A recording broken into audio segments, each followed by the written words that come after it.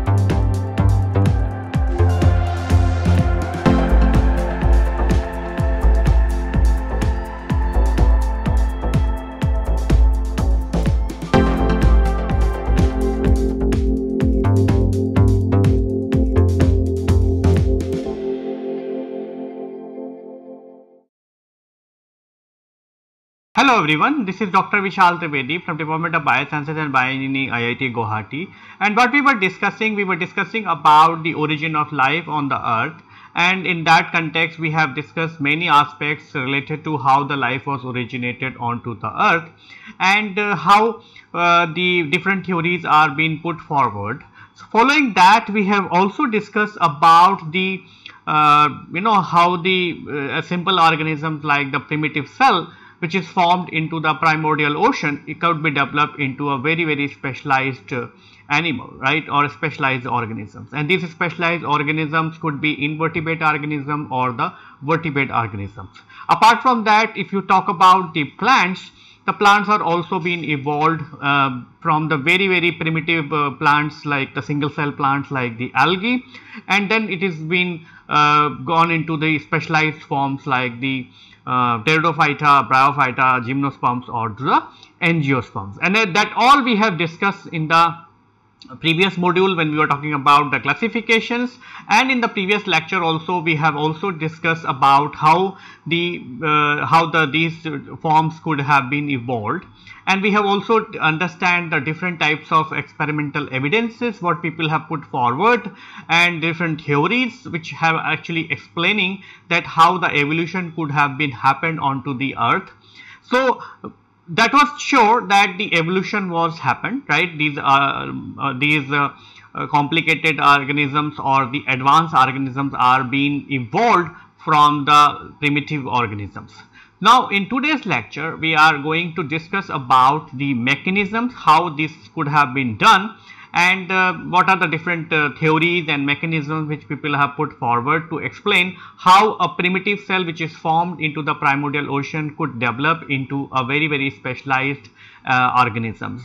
Uh, so with this I think we will start our uh, our lecture. So what we have seen what we have discussed so far what we have discussed is that the uh, we have collected the scientific evidences that the organisms are evolved from to the uh, previously existing organisms. We have discussed about the different types of um, different types of evidences. We have discussed about the morphological evidences.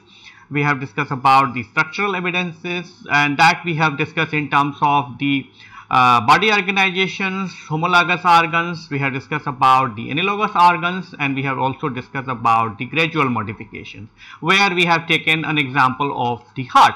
And this example we have also discussed when we were discussing about the classifications. When we were talking about the classification of the chordata, we discussed how the heart is being evolved from a uh, two chamber heart to three chamber heart and the four chamber heart.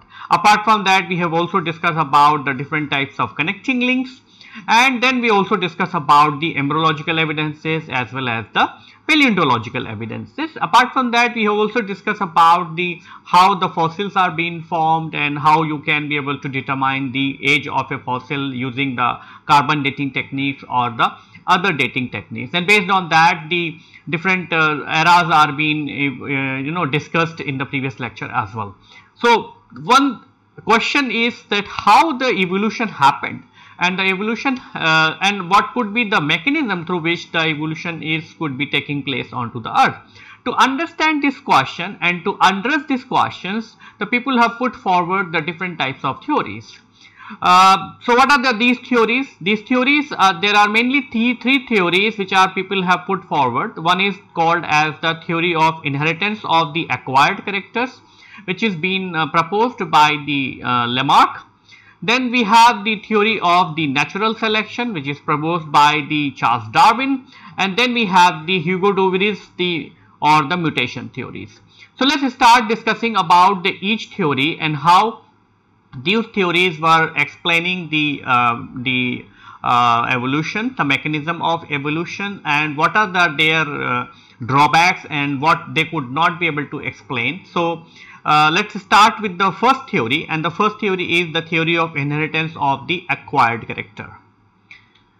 The theory of the inheritance of the acquired character is proposed by the French biologist Chevalier de Lamarck in his famous book the philosophy zoology, uh, he proposed that the organisms are not fixed and they evolve from the pre-existing organism by the modification. And they have he has assumed the several types of modifications uh, or the several types of uh, assumptions.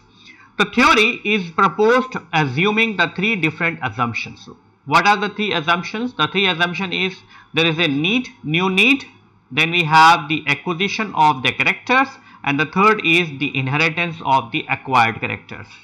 So what is the new need? The new need is the variation in the environment, conditions and the overall circumstances which affects the existence of the organisms need adaptations in the organism to survive. So what the and as a result the organism has to put special efforts to fulfill its new need for the adaptations. In the in few cases, it just needs change in the habit or the behavior of the organisms.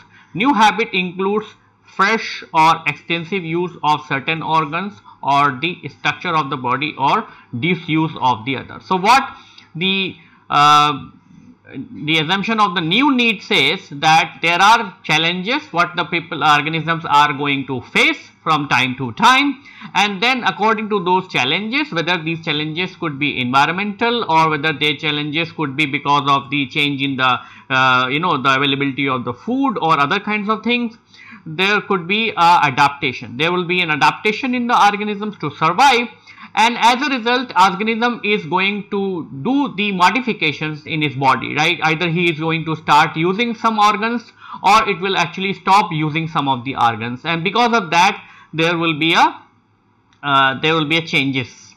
Then it is actually going to acquire the characters. So, there will be an acquisition of the characters that we have going to discuss in detail. What are the different types of acquisition of the character, what could be the mechanism through which the, there will be an acquisition of the characters?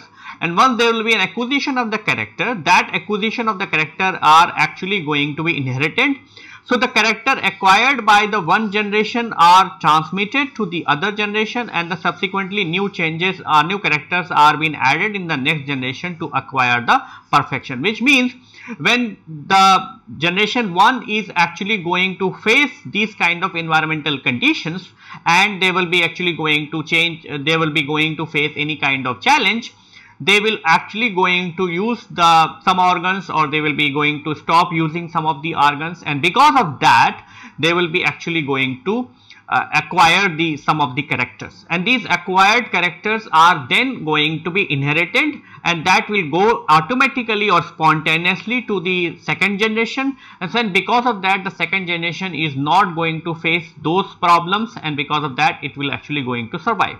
Thus Lamarck proposed that the evolution is a slow process where characters are acquired over the course of time in the various generations. So that is a whole soul process that whole soul message that the Lamarck has said that the evolution is a very slow process and it is actually not being done in a single generation. It will be done in a multiple generation and because of that it is actually going to acquire different types of characters.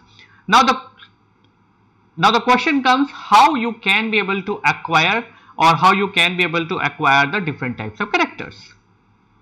There are three ways in to acquire the character required to adopt into the change conditions. These change conditions could be environmental, right? So you can have a change in the temperature or there could be a scarcity of water, there could be a scarcity of food like for example there will be a scarcity of grass right and so on right.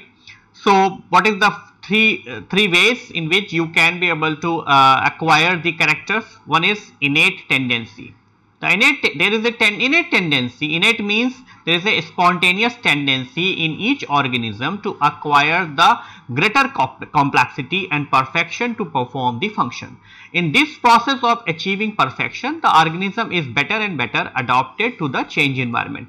You remember that the example of the heart, right? So, I have discussed when we were discussing about how the modifications into the existing uh, uh, organs could be a could be a way to explain that the evolution is happening and that is a very classical example of the heart.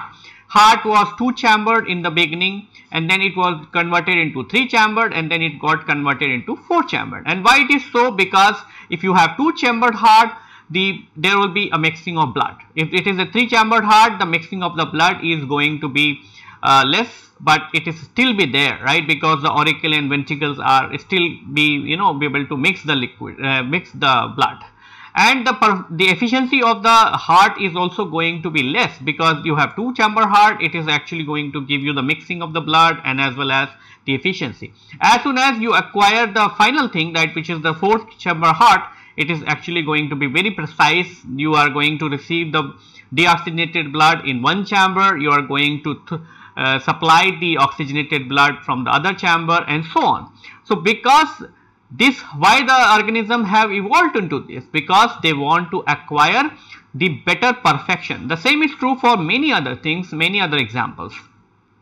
And why it, and then the second point is the use or the disuse of the organ. The use and the disuse of organ affect their structure, shape and the efficiency of the functioning. More usage of a particular organ brings additional strength, size and the more efficiency. In contrast, the disuse or the underusage of the organ gradually make them weaker and smaller and finally they may disappear as well. Thus, differential usage of organ allowed the additional character in the body during the lifespan of organism. So that if what it says is that if you utilize the organ uh, it is actually going to be more strong and it is going to be more and more stable, more and more efficient. Uh, this you can imagine that you know many of the bodybuilders right they are still using their organs they are they are using the you know different types of exercises and because of that they are actually going to build up their muscles so that is a classical example to say that if you use the particular uh, organ like for example if you do a weightlifting you are actually going to uh, strengthen your muscles uh, like biceps and all those kind of things right? So uh, that is a, classical example of the use and disuse of the organ. Uh, then we have the environmental factors. So variation in the environmental factors such as temperature light humidity wind enemies affecting the living things and uh, bring changes in the lifestyle and the habits the combined effect of the use and disuse of the organ and the influence of environmental factor results into the change in the body of the organ organism and these characters are known as the acquired character. So, what is mean by the acquired character is that the character which you are going to acquire which you are not going to get your from your parents right acquired character means the character which you are going to acquire during your lifespan and then these acquired characters are going to be inherited into the uh, you know into the offsprings and that's how that was the proposal from the Lamarck. Now uh, Lamarck has uh, cited many examples, many observations and many theory, uh, many hypotheses to explain these uh, three phenomena through which the the uh, the organisms are acquiring the characters and how that how the acquisition of the additional characters are helping them in terms of the adopting into the change uh, conditions and uh, you know that's how they are succeeding into the uh, you know into the fulfilling or finish uh, completing their li lifespans and that's how they are surviving. So they, he has uh, uh, cited many examples. One of the classical example is where he has cited the example of giraffe so he has taken uh, many uh, examples uh, so Lamarck in his books explained the evolution of various animals to elaborate the proposed hypothesis. One of the classical example is the giraffe. So you know that the giraffe has a very long neck, right? And because of that, it can actually take the food from the even from the uh, very long trees and high trees, right? So Lamarck uses his hypothesis to explain the appearance of giraffe with the long neck and the forelimb. As a theory, the giraffe is evolved from the short height deer-like ancestors. Okay, so initially the the uh, the uh, the um, uh, giraffe was represent as a very short deer-like uh, uh, thing, right?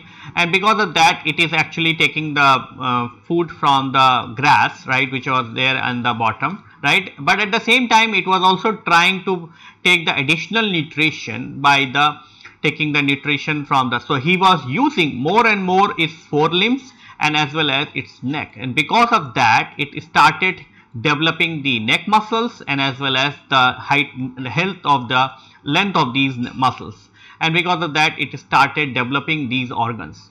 So these ancestors, the deer-like ancestors are living in the barren place with the leaves on the tree available to them for eating. In order to reach the leaves on the tree, it stretches necks and the forelimbs. As a result, these organs get elongated.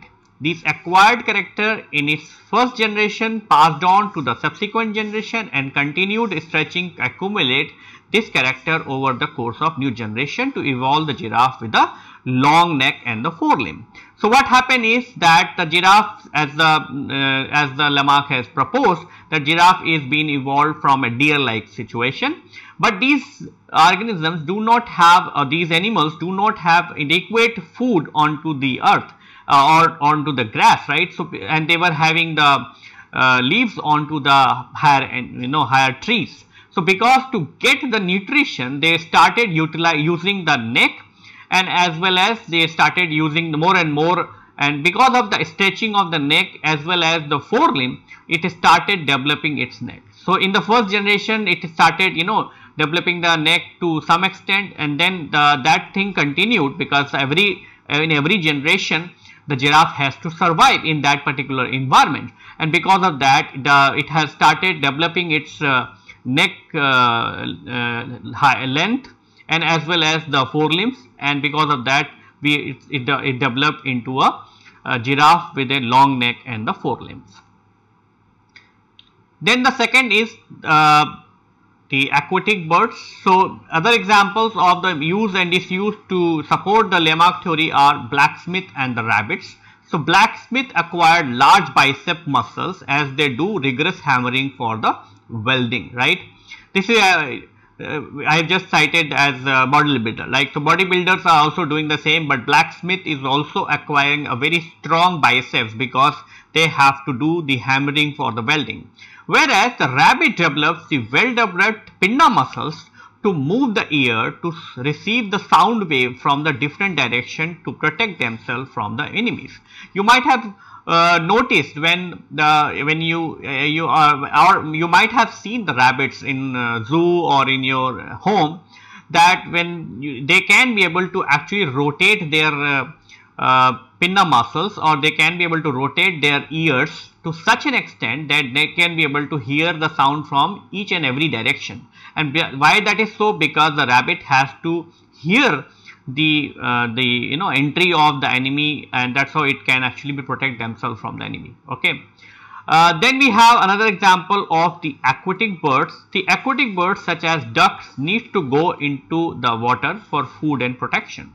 To achieve this they spread their toes to float onto the water. As a result of continuous effort they have developed the web between the uh, between the uh, fingers. So then we have the snakes okay? So snake you know that snake does not have the limb right? And why the snake lost the limb? The Lamarck has explained that because the snake is considered to be uh, originated from the uh, lizard like ancestor with the two pairs of fully developed leg these ancestors need to hide from the mammals and they prefer to stay in places with the dense vegetation which means they are or holes or the narrow spaces. And because the dense vegetation holes as well as the narrow is actually obstructing uh, the uh, the limbs right? So they have stopped using the limbs for and they started stretching their body to hide in the narrow places and did not use the leg because of they did not use the leg for very very long time like the several generations over the course of time continuous stretching of the body made it cylindrical and they lost the legs. So, that is a classical example of how the disuse of a particular organ is actually going to turn into the disappearance of that particular organ from the subsequent generations. Then we have the deers. Deer, it is a it is believed that a deer has acquired speed through continuous running in a process to protect himself from the enemy. So, deer has because deer has to protect themselves from the tigers and all other carnivorous animals it has developed its uh, you know strong muscles and that's how it could be able to run very fast. Then we have the cave animals. So cave animals do not have a well developed eyes. Uh, and why they don't have the well developed eyes? Because the cave animals stay in the low light environment and does not use the lights and as a result they lost their vision over the course of time. So, these are the evidences the what the Lamarck has put forward. But if you have a theory, there are also contradictions, there are criticisms. So, Lamarck has also, uh, the people have put those kind of evidences to criticize that particular uh, Lamarck theories of the acquired characters. What are these theories? The criticism of the Lamarck theory is that Lamarck theory received initial attention, but it could not be able to explain several observations. The initial two assumptions are correct. There is a new need to create by a change in the environment. So, the people were agreed that okay, there is a new need because you have to adopt into the change environment and the whatever the changes you do, they are actually going to be acquired by the use and disuse of the organ as well as the environment. The inheritance of the acquired character to the subsequent generation is actually arguable because there was no mechanism through which the uh, Lamarck has proposed or Lamarck has explained how the acquired character because we said right acquired characters are the character which you are going to acquire into your lifespan but they don't you don't get those acquired character from your parents. So, because you cannot get the uh, uh, the acquired character from your parents, how the acquired character can go into the next generation, right? So, that mechanism Lamarck could not be able to explain or Lamarck could not be able to verify. Then there are additional evidences which are actually against the inheritance of the acquired characters. The major objection is gathered by the experiment performed by the August Weismann. So August Weismann is a, is a is a is proposed that the Weismann's theory of the continuity of the germplasm that the animal is made up of, of two types of cells. Animal is made up of, of two types of cells. One is called as the somatic cells and the other is called as the germ cells. The germ cells, the nuclei present in the germ cell is responsible for the inheritance of the character whereas the somatic cells contain nuclei which responds to the environmental factor or the use and as well as the disuse which means according to the theory of Weismann of the continuity of germplasm you have the germ uh, cells and you have the somatic cells okay so, somatic cells are actually the one of the classical example is the muscle cell. Okay, somatic cells are the uh, all the other cells except the germ cells. Germ cells in the case of humans you have the two different types of germ cells. One is called as the sperms, the other one is called as ovum right and these germ cells they are the nuclei present in the germ cells are actually be responsible for carrying the genetic information sperm you are going to get from the father the ovum you are going to get from the mother so that's how when they will going to fuse to each other they are actually going to give you the zygote and as well as the offsprings. So these uh, germ cells are actually going to carry the genetic information from the one generation to next generation. Whereas the somatic cells which are like classical example is the muscle cells are actually going to respond to your habits right if you are using the muscles they will be going to be more stronger and stronger because you are going to use them every day right? So they will be actually going to acquire the mass right? And that's how they will become more and more stronger. Uh, but they that info, that information will not get into the germ cells because germ cells are very very far away from the somatic cells.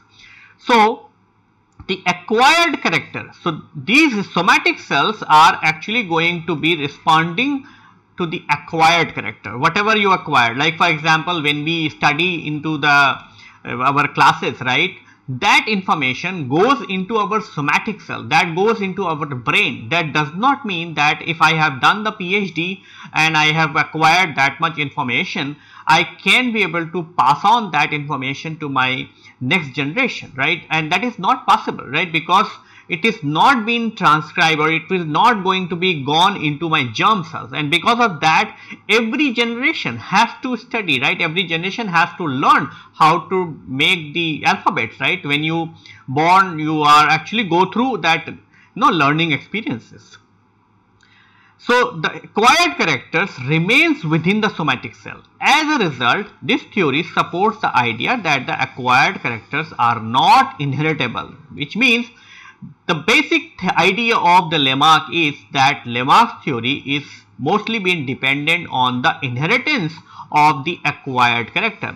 So people were not having any objection, they, the people are not having any problem with the that there is a new need for an organism to survive into the change environment and there, it is actually going to use or disuse the different types of organs. And that is also going to develop that particular organ. The only problem was the third assumption that there will be an inheritance of these acquired character. And that's how it is being categorized and performed. And there, even the Weismann has done several type of experiments to prove that that you are actually if you make the changes into the somatic cells those cells are only going to be modified but the germ cells are not going to be modified in the second generations. Uh, in fact, he what he has done is he has actually done a, he has conducted a conclusive experiment on rat where he has cut their tails for 80 generation and that did not produce the rats without the tailless which means the Weismann has cut the tails of the rats so once you cut the tail of the rat the rat cannot use that particular tail right? Because there is no tail available right? So that is actually mimicking the condition that you are dis uh, forcing the organism to disuse that particular organ right? But even then when the new bonds are being produced they were not being produced without a tail. They will be produced with the tail only okay? So that has conclusively been proved that there is a no inheritance of the acquired characters. Then there are other um, evidences. So there are many evidences from the human civilizations there are many evidences from the uh, what people have observed during the uh, in other animals as well right? So for example the boring of the ear is practiced in women for thousands of years but this character never been inherited. You know that in every civilizations the women as well as the men for some time are piercing their ear pinna so that they can be able to wear the different types of ornaments but these piercing which is actually be a kind of a practice from happening from the generation to generation but even then you won't see a newborn born with the pierce or newborn is born with the hole actually. Then we have the European women so European women wear tight garments to maintain the slender waist okay? But their children have normal waist at the birth. So that is another example where the women are actually wearing the tight uh, garment so that they could be able to look slim and smart but that information that is acquired character does not go into the their children. Then we have the Chinese women. So Chinese women wear the tight shoes to have the small feet. So that is a disuse of that particular organ right so they will be trying to you know constrict that particular use and uh, because so that they want they want to develop a small feet but their children have the normal feet. Then we have the child of the athletes are not born with the powerful muscles. Same is true for the blacksmith or the weightlifters. Weightlifters are acquiring the huge power into their muscles, but that muscles power is not getting correct, you know, transcribed into the uh, their uh, offsprings. Then we have the child of the Nobel laureates or child of the professors are not intelligent as the parents. Because as I said you know when you are studying you are actually collecting the information into the brain. And brain is nothing but a somatic cell right? Brain is a somatic cell. So if you are acquiring and making a changes into the somatic cell that changes are not going to be go into the subsequent generations then the Pavlov also has done, so Pavlov was a scientist, he trained the mice to come for the food on bell ring. So when he was ringing the bell, right, when he is ringing a bell, uh, the mice are uh, coming. So they will be getting, they, they are being trained that okay, when there will be a bell ringing, there will be a food. But what he found is that, that that training is necessary even for the subsequent generation. You are not going to get the kids are automatically being trained because training is also a part of the brain activity or spinal cord activity and both of these organs are the uh, somatic cells. Then we have the eyes of avaricious readers do not grow in size nor they acquire improved eyesight with the increasing age, right. The what Lamarck said, Lamarck said that if you use a particular organ, that organ is actually going to be more and more efficient it will be more and more strong right? But that is not the case right? When you are going to see that many people are actually reading novels after novels right? Or they are actually going to study read the novels in the night. And but that does not allow their uh, eyesight to be improved or that does not allow their eyes to grow in size. And that character is also not being transmitted to the new uh, generations so, to address these criticisms, the Lamarck has taken uh, a help of the uh, to the latest informations and that's how he came up with an idea of the revised hypothesis or revised theory of inheritance of the acquired character. What is this new theory? This new theory was called as the neo-Lamarckism. So, there are evidences to support the inheritance of the acquired character. For example, effect of radiation and chemicals on the germ cells and resulting change in the phenotype of the cell, the evidence for the inheritance of the acquired character revived the Lamarck theory as the neo-Lamarckism. The, the modified neo-Lamarckism has the following postulates. So what people have observed that if you are actually going to get exposed to any kind of the radiations which is actually going to make the changes into the germ cells then those changes are actually will go into the subsequent generations. And that has actually given the clue of to the people who are supporting the Lamarck theory that this could be the reason, this could be the way in which the acquired character can be able to transmit it to the next generation. And that's how they have proposed a new theory which is called as the neo-Lamarckism or the new theory of Lamarckism. This new Lamarck theory or the neo-Lamarckism has the following postulates. The germ cells are not always immune from the effect of the environment. So what it says is that when there is a change in the environment, it is actually going to change both. It is actually going to change the somatic cell. It is also going to change the germ cells. And so if there is a radiation, it is actually going to affect the germ cells, it is also going to affect the somatic cells. Or if there is any change in the environment that is actually going to affect the somatic as well as the germ cells. The germ cells may affected directly by the environment without any effect onto the somatic cells. So whatever the effects are happening onto the germ cells that may or may not affect the somatic cells the germ cells may carry the acquired character to the next generation. So that's how they have explained the uh, many many you know how the uh, inheritance of the acquired character could be possible. But even considering these points, Lamarckism could not be able to provide the satisfactory mechanism for the evolution. They were still having the questions, they were having still the objections which they could not be able to explain and that's how the people who have the drop the idea of the uh, inheritance of the acquired character as a best solution to explain the mechanism of the evolutions. So what we have discussed, we have discussed about the theory of inheritance of the acquired characters where the Lamarck has said that first is that the organism is actually getting fo uh, forced to change its needs, right? It has actually trying to evolve, trying to make the uh, uh, you know system more and more efficient. And because of this uh, tendency or because of this habit the organism has to evolve right? Why it is so and how it is doing so is because it is using or disusing its organs. If it is using the organs it is making the organs more and more strong and developed. If it is does not use that particular organ then it is actually going to uh, shrink that particular organ or it is actually going to disappear.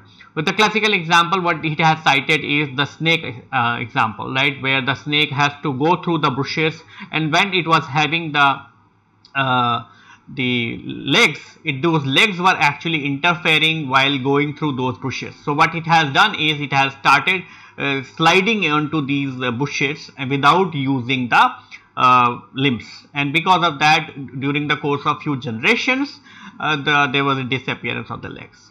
And the third is the inheritance of the acquired characters.